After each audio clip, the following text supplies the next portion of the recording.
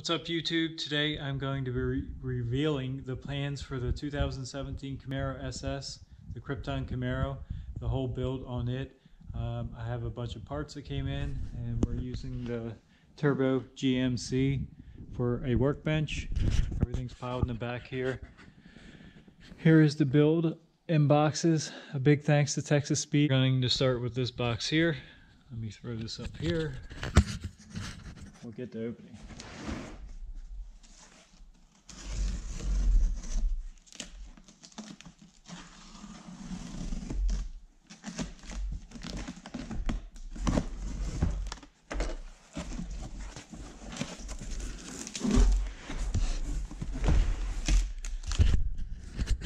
So this is the first mod.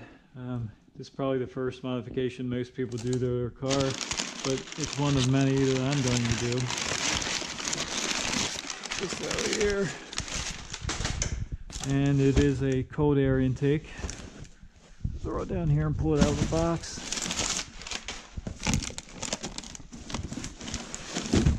It comes mostly assembled, it looks like. Well, at least the box is the weather stripping down there. It is a Rotofab piece for the 2016 Up Camaro SS. And I also opted for the Sound Delete tube. I don't really see the purpose for it, um, especially with some of the other modifications I got going on this car. It looks to be good quality everything you need in here to put together. That should help boost the air in. So let's go move on to, let's go to this box.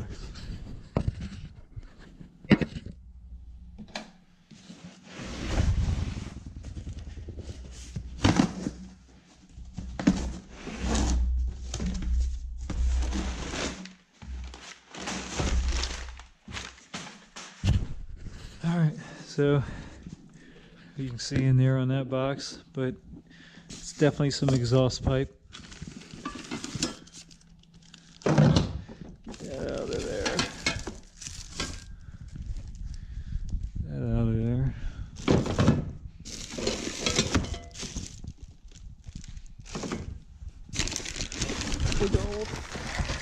Three inch X pipe.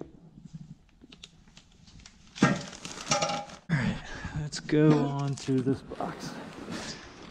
I'm sure you can probably guess what this box is already since we got an X pipe. The only thing to go along with an X pipe is a set of headers, so that's what this is. Um, do this with one hand or not. And let me set it down.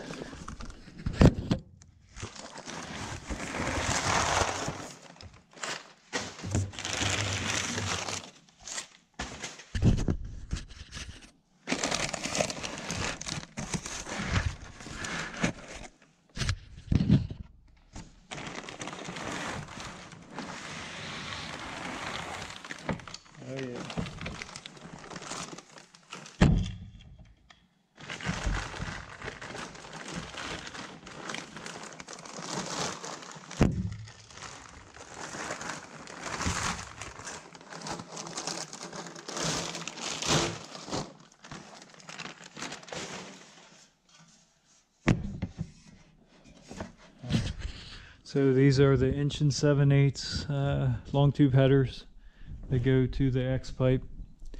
And these are the Texas Speed units for uh, LT1 engines.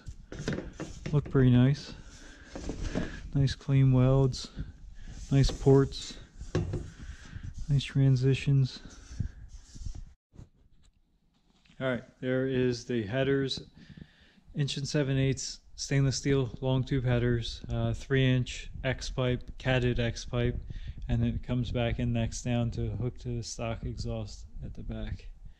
But so far it looks good. It's in uh, multiple pieces, so it should fit on the car pretty nice, a lot of adjustability. And of course it comes with the clamps and hardware to put it all together. All right, one more box and this is probably the most important box.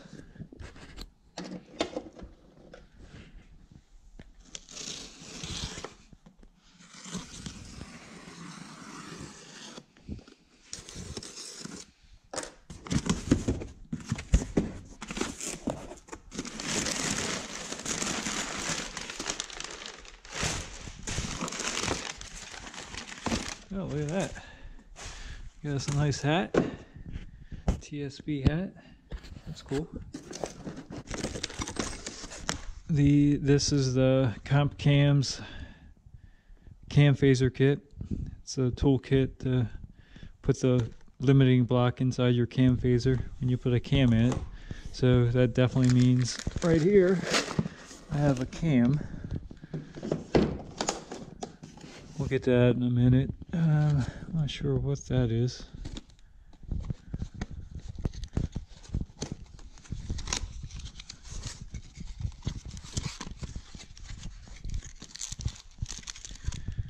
Oh, there's the the cam bolt for the cam phaser variable valve timing.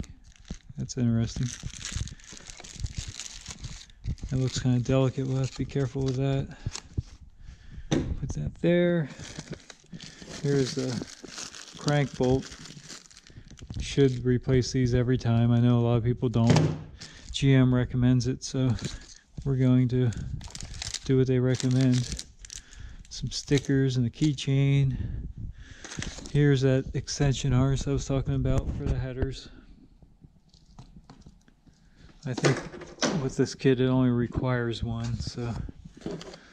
And here is the, the cam phaser block that they want me to install. It's a zero degree block. It's, it pretty much locks the variable valve timing out. Um, they said don't use the one that comes in the comp kit and use this one instead. So they made it, so I guess they know. This is all my head bolts. Again, you're supposed to replace these. These are torque to yield. So we're, we're gonna replace them. Even though the car only has 800 miles on it at this time, every time you take them apart, they should uh, be replaced. And these are the lifter trays, because when you do an aftermarket cam, you have to do a DOD delete. And these are, I believe they're LS2 lifter trays. Um, these are the lifters, LS7 style Delphi lifters. Yep. Again, when doing the DOD delete kit, you have to change the lifters. And you have to at least change eight of them. So we're just going to change them all 16 at once. All right, that there, and these are probably the push rods. Yes.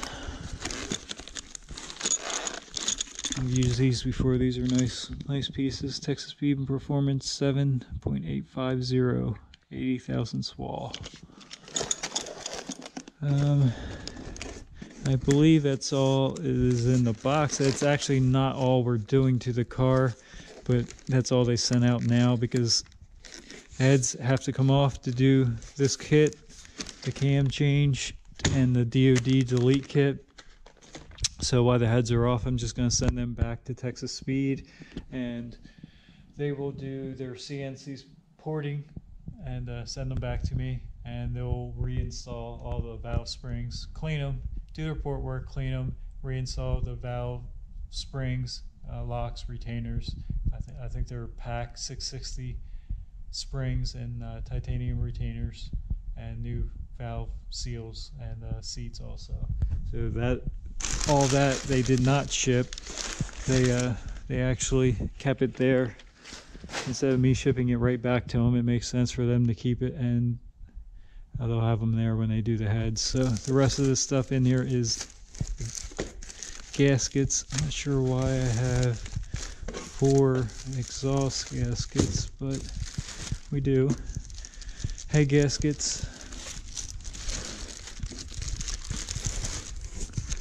And that should be it. I think the, the front cover is held on with these LT ones with silicone, so I'm not sure why they sent four. Maybe the gasket kit comes with them and headers come with them. I don't know. But that's it um, for that anyway. Let's open the cam up and see what cam we got for it.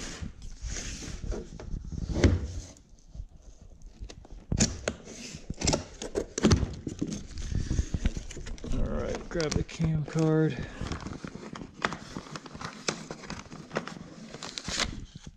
Alright, here we go. So duration at 50 thousandths is 235, 239. It's pretty healthy. Um, 645, 635 lift, and a 32% fuel load. So this thing should sound amazing. Uh, it should have a nice, nice lumpy idle to it. Um, should be a idle really. And should this cam they actually advertise it's their VVT3 cam and they actually advertise 110 horsepower at the crank just by installing this cam. So very excited to hear that. Um, so with the cam, uh, the headers and exhaust, the air intake, the CNC ported heads, and uh, a tune, we should uh, really improve the performance of this Camaro. Texas Speed, uh, I think you can see that. Texas Speed actually stamps right on their cams, um, their their name and uh, the specs of the cam also. So there's definitely no question. Of course, in the motor you're never going to see that, but when the cam's out, you know. All right, that's pretty much all I have for today.